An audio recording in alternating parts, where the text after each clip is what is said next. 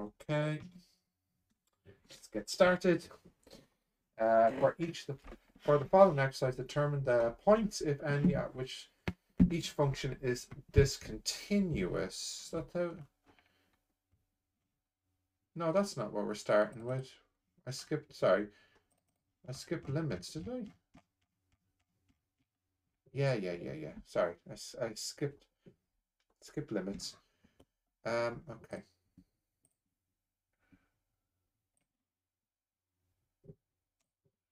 Fix that.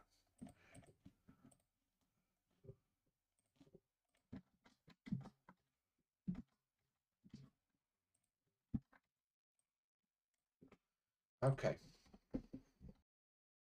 All right, let's get started. Uh, use the limit law to evaluate each limit, justify each step by indicating the appropriate laws. So this one is due to the sum.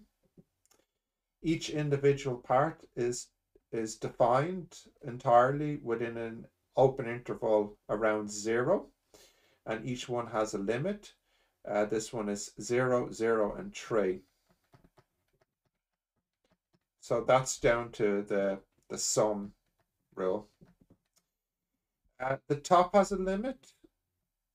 Uh, each uh, and the bottom has a limit, and the top has a limit because of the sum, because each individual part has a limit, and likewise on the bottom. So it's one plus three plus five uh, over four minus seven.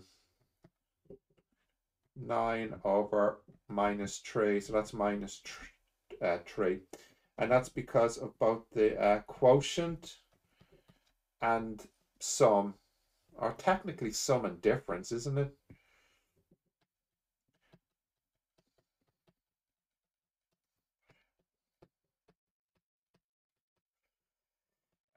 This one is uh, the root.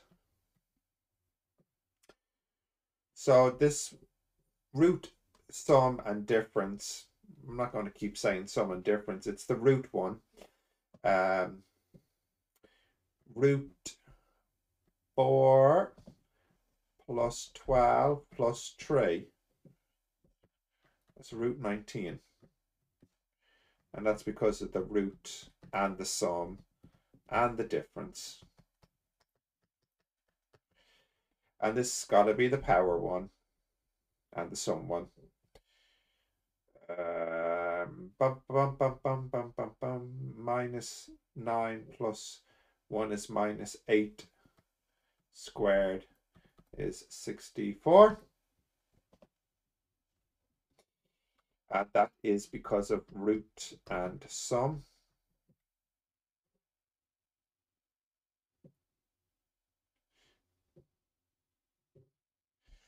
Um, what way do they have the answers at the back now, I wonder? 83.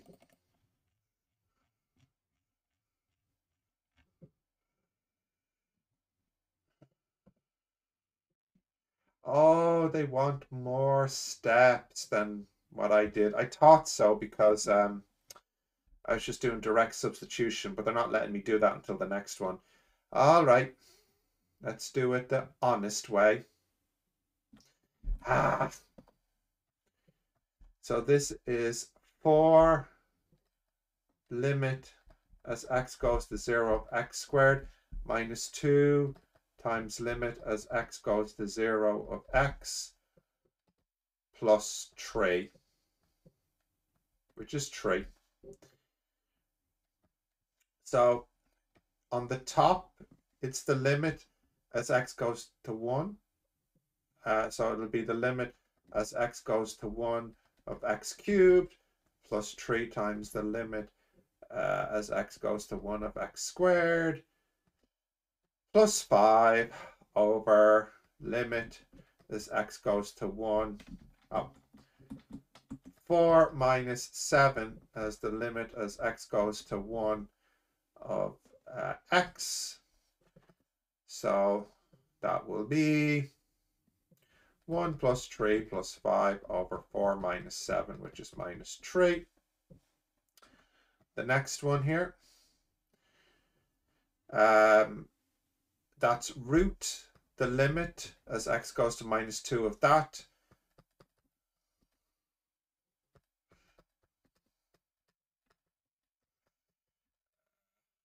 I could add in more steps, but I don't think it's really needed. Uh, 4 plus 12, 16, root 19. And then that one there is the power one. So that's the limit as x goes to minus 1 on this, all squared. So the 9 comes out using the constant rule, plus the 1, all squared. So that's 64. So, uh, where was I? 83. 83. Yeah, yeah. And 85. Yeah. Okay, now I can use direct substitution. So that's 49. Replace the x with 7. That's 15 because it's 16 minus 1. That's 1. That's e power 0. So that's 1. Uh, that's 2 minus 7, which minus 5 over 7 and uh, log is 9. Log E9. Let's check if that's right. 49, 1, minus 5 over 7. Okay.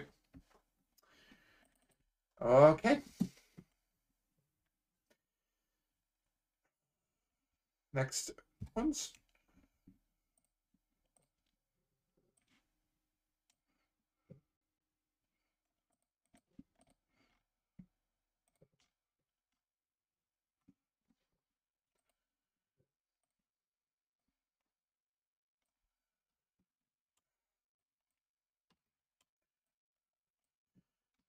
Okay. Um, okay, so if you sub zero in, let's see, uh, um, if you sub four in, that's going to be zero over zero. Yep. You sub two in, that's zero over zero. Yep.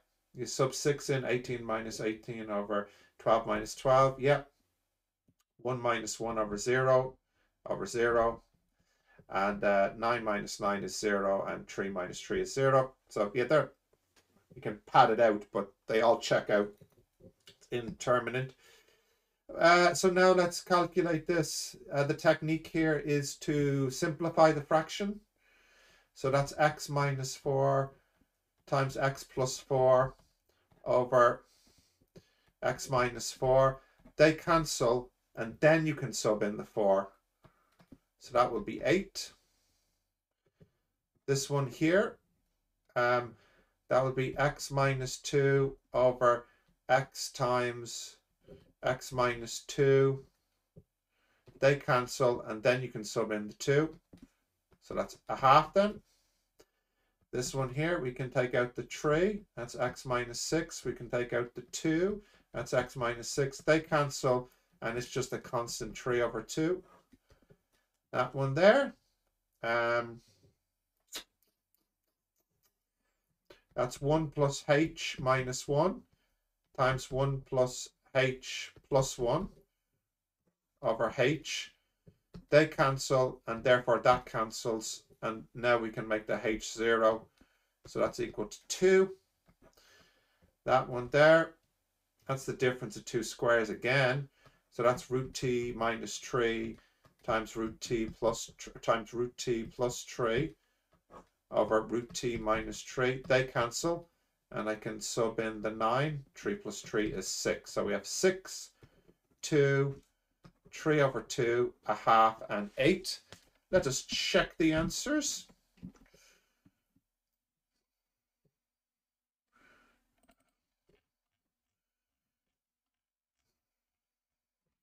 Starting with 93.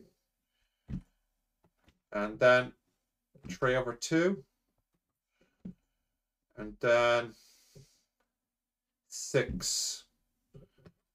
I'll check out. Okay, a few more here.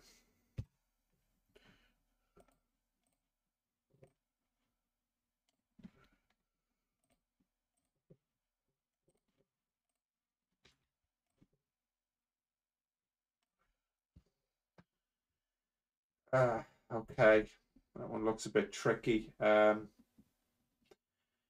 actually, I think I'll clear the page up. Ah.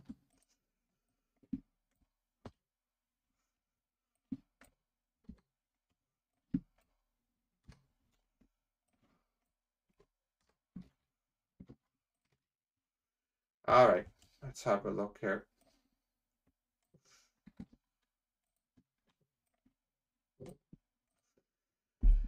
All right, uh, what am I going to do here? Um, simplify the top as a times a plus h, and then that's a uh, over minus h. a minus a minus h all over h. The h just cancel, and now I can put h goes to 0. So it's just minus 1 over a squared, I guess.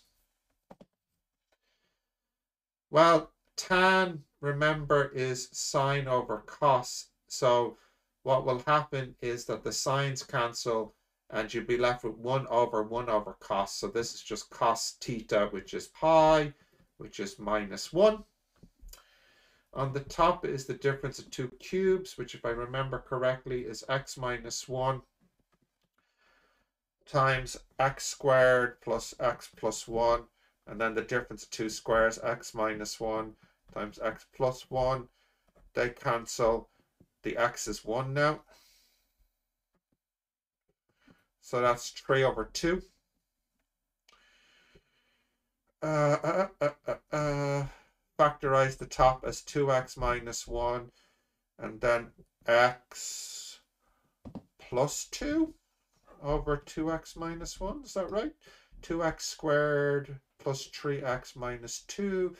Uh, they cancel and then you put x as a half. So that is 5 over 2. And then lastly, that looks hard. This one might require a bit of brain power. Let's check that these are right first before proceeding.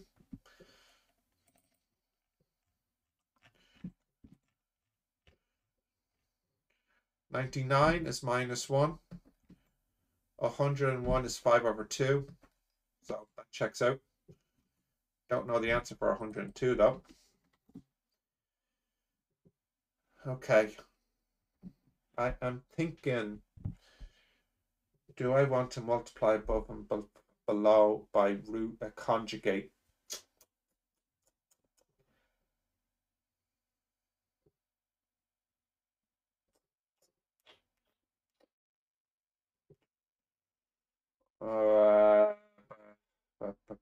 Let's give it a try. We'll multiply by root x plus 4 plus 1 over root x plus 4. So we'll just forget about the limit for the moment. Plus 1. So on the top, you would have x plus 4 minus 1. And on the bottom, you'd have x. No, I don't think that's going to help. Unless I get an x plus 3 on the top, which I do. Yes, yes, yes, yes, yes, yes. x plus 3 times root x plus 4 plus 1. But on the top we have x plus 3, so that cancels with that. And now I can put the x as minus 3.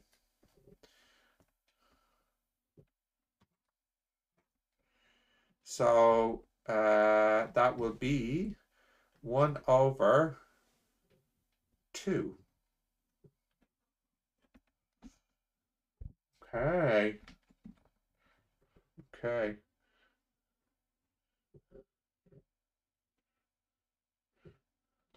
Oh yeah, I never checked that these are undefined, but they are because that's 0 over 0, that's sine 0 over tan 0, which is 0 over 0, 0 over 0, and this will be 0 over 0, and this will be 1 minus 1, 0 over 0. So they are all, trust me, you can put it in on the calculator, but they're all undefined at uh, their uh, limit point.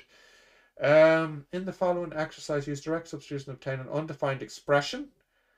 Then use the method to simplify the function to help determine the limit. Okay. Maybe we'll leave it there for today because I'm actually quite tired. Um, and then pick it up with these different ones then tomorrow.